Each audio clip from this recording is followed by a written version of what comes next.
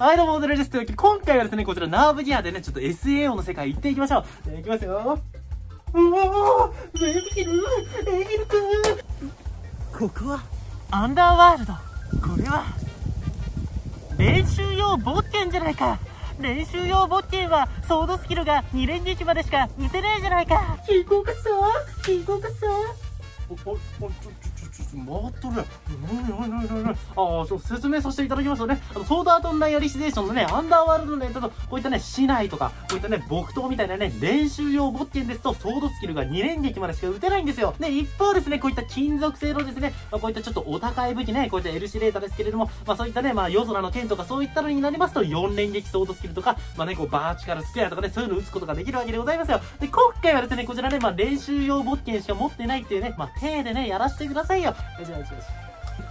行こうかさ行こうかさというわけで今回はですね、ソードアートオンラインのソードスキル、2連撃ソードスキルとか、まあそういったものをですね、今までやってなかった単純な攻撃をですね、やっていこうと思います最初の技はですね、こちらです。もう一番最初のやつですよね。もうめっちゃ懐かしいですね。こちら、垂直攻撃のバーチカルという技でございます。バーチカルはですね、アンダーワールド内、つまりアリシデーションでは、ノルキア流の雷旋山というね、こちらと同じやつでございますね。というわけで、これのやり方をご解説させていただきます。まず、このように右足を下げた状態で振りかざします。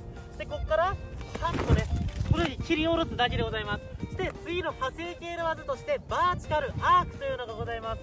バーチカルアークは2連撃で、振り下ろした後に、切り上げです。つまり、この状態から、とね、まあ、こんな感じでございますね。それでは、えっと、バーチカルアークをやりましたので、続いてホリゾンタルやっていきましょう。ホリゾンタルは水平攻撃でございまして、このように構えて、そして、こっち側、この脇を開いた状態から、このように切ります。これがホリゾンタルでございます。で、ホリゾンタルアークになりますと、2連撃になりまして、この技ですね、あスーパルハーみたいなね、これでございます。で、この時のやつでして、これ、こういって、で、こっから、うおーってきて、切り上げるみたいなね。こんな感じでございます。それでは続いて、突進技という単発ソードスキルを解説させていただこうと思います。突進技は2つございまして、レイジースパイクという下段突進技と、ソニックリープという上段突進技がございます。で、レイジスパイクは下段に構えた状態で、このように、このように構えます。こんな感じですね。かっこいいですね。で、この状態からピョンってきて、10メートル進みます。ここからピョンってきて10メートル進んで、で、さーってね、無理だよって感じなんですけど、まあ、こんな感じでございます。で、ソニックリープは上段技でして、このような感じで、ここから、ここから10メートルヒューってきて、そして、バーチカルと同じやないかいみたいな感じになっちゃうんですけど、まあ、こんな感じでございます。で、これももしかしたらソニックリープかもしれません。この、これね、これ、この、ここれ、これ、これやって、これ、剣を折った時、これもソニックリープじゃないかと言われております。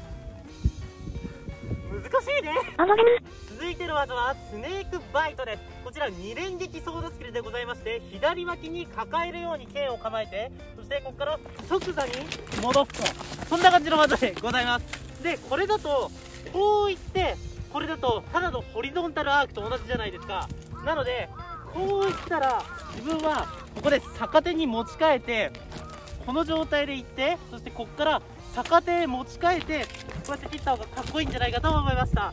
でこれのやり方は左脇へ抱えた状態で人差し指を移動させておいてでここから切り込んだらこの状態で切り込んだら親指を移動させて逆手にします。いきました。でさっと。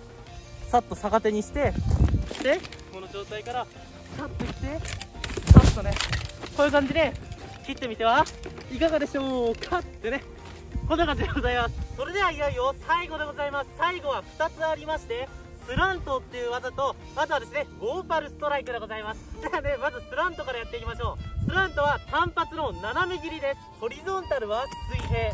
そしてバーチカルが垂直。でスラントは斜めなんですね。斜めへ切ります。なので斜め切り。そしてまあこっちのね切り上げバージョンも一応あるそうです。切り上げバージョンがこのアニメバージョンで使われてました。なのでここから切り上げか、まあ、それからこうですね。バーチカルはこうですよ。垂直ですよ。バーチカルは垂直にあります。スラントは斜めです。あんま変わんねえよ。それではいよいよウォーパルストライクです。ウォーパルストライクはすごい威力があるそうでして両手槍この槍とね同等の威力を持ちながらこちら剣の射程範囲。射程範囲はこの刀身の2倍。つまりここぐらいまでね届くそうです。アニメの話ですよ。こんな感じでございます。でねこちら左手を構えて右手をこうやって引きます。からウォーパルストライク。フォー終わりです帰国さん帰国さんはい、オッケー。帰国さんもう寝るのないっすよ。